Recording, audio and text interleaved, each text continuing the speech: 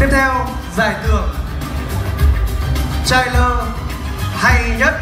đã thuộc về